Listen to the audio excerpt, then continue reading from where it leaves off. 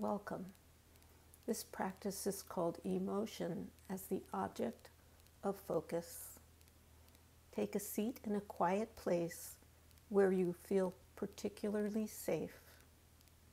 Sit tall with your spine long, your shoulders relaxed, and your belly soft.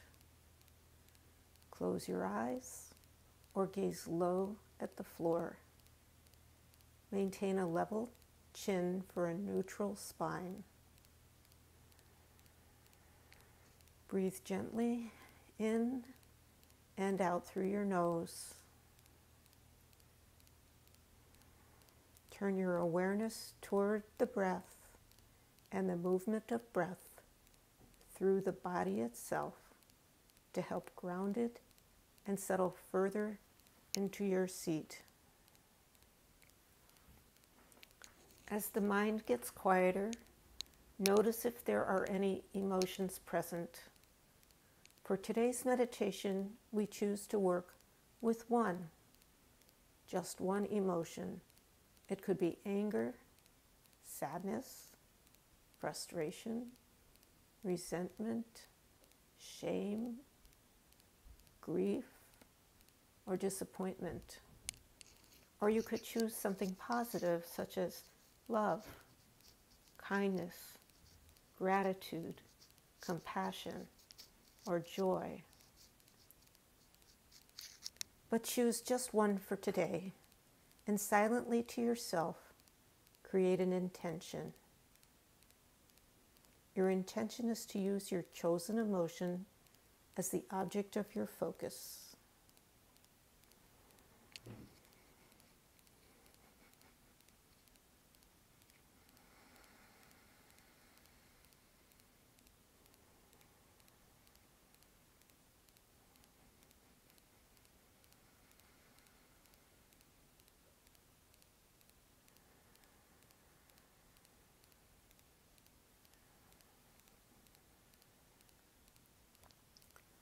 So let's turn now toward that emotion.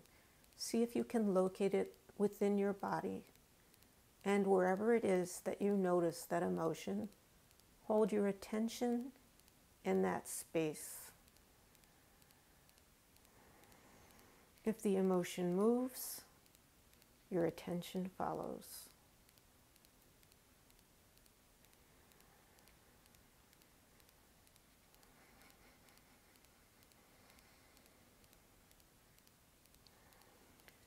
Present now with the emotion, notice all you can about the detail of the emotion's size, color, temperature, shape, or any other characteristics. How might you draw the emotion? What is it telling you? How do you feel about the emotion? As you explore the characteristics of this particular emotion, be very careful not to chase the object of the emotion or the story. Don't go looking for a reason or a source. Simply stay present with the uh, emotion itself, its felt sense out of your head and present in the body present with the emotion itself, your object of focus. Anytime you notice that the mind has gone off chasing stories or anywhere else, come back to the felt sense of the object of focus. Repeat this process of returning as many times as you need to.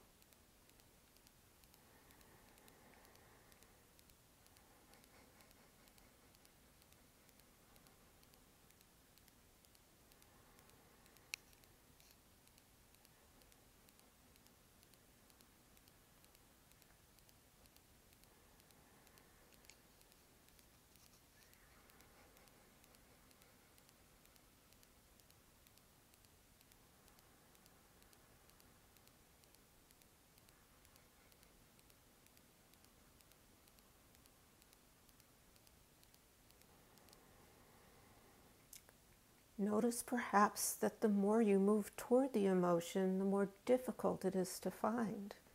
It is changing or moving, it becomes slippery.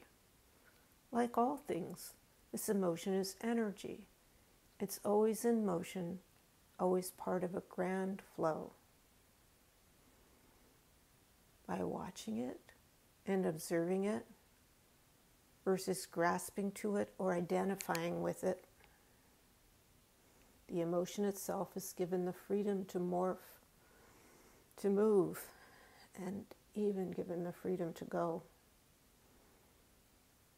The emotion is not you, it is energy in your body. You are the witness, the watcher, the noticer.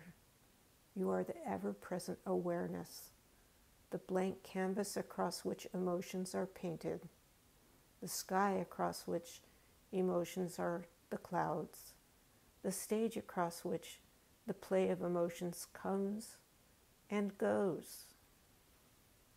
You experience emotion, but you are not your emotions. Perhaps your object has wandered or waned Perhaps the emotion is still felt very strongly. Turn attention now away from the emotion and back toward the self. That's the witness. Notice the space between the two, the emotion itself, awareness of the emotion. Remember that you are awareness, compassionate, curious, caring, connected, and infinite. Identify with that limitless awareness as you slowly open your eyes.